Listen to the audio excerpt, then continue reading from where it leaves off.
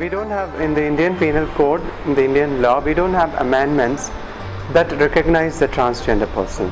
Of course, uh, the Constitution uh, doesn't talk about a male or a female, it talks about a person, and we're also included uh, as citizens of the country. We're also included in that Indian Constitution, but practically speaking, we are not.